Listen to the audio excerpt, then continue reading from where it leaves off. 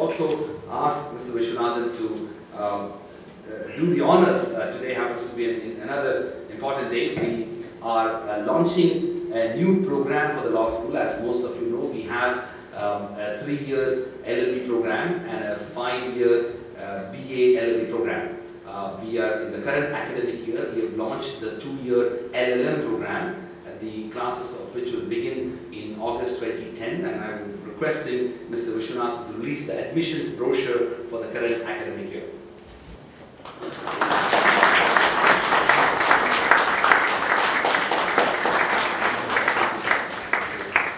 You may give the first copy to our Chief Legal Advisor, Dr. Francis Julian, and then to uh, our Registrar, Mr. Aman Shah.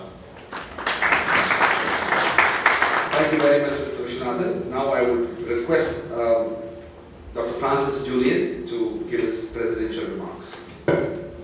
Thank you, uh, Professor Rajkumar. The topic, law, society and government, it's a, it's a very broad topic. So I thought how I, I should say a few words about it.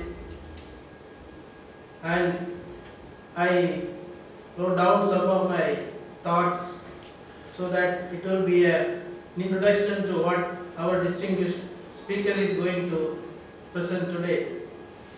Law connects society and government. A society without law creates anarchy. Government is the institution which administers law.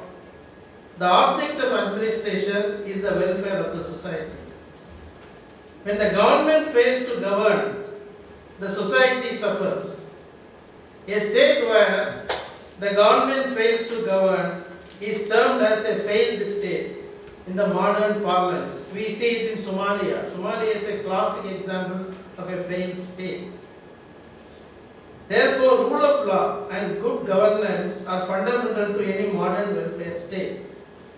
About the relationship between the rule of law and the government, ancient philosopher Plato said as follows, to quote, where the law is subject to some other authority and has none of its own, the collapse, collapse of the state, in my view, is not far off. But if law is the master of the government and the government is its slave, then the situation is full of promise and men enjoy all the blessings that the gods shower on a state. The above words of Plato clearly underlines the supremacy of rule of law in a society. The government has the most important responsibility to administer the rule of law for the welfare of the society and the state.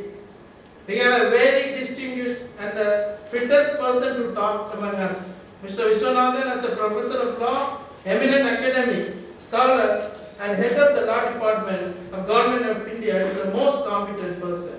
He will throw much light on this area, this vast experience and expertise. Thank you. Mr. Rajkumar, my friend Francis Julian, Mr. Aman Shah, my young friends uh, from India and abroad. I am very happy to be here for more reasons than one. Because I started my career as a law teacher four decades ago. And if Dr. Rajkumar willing, I may end up my life as a law teacher. I started my career as a professor of law, teaching law and books. For nearly a decade, I taught varied subjects US students to international thoughts. And I shifted to government as a draftsman. The legislative department of the government of India is concerned with drafting of legislation for the government of India, central government. I spent a considerable amount of time there drafting many legislations for nearly two decades.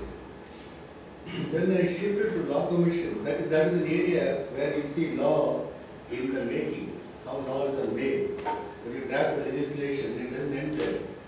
You follow it up to the parliament, get it passed, appear before the committees, then also you see it enacted. So you see law in the making.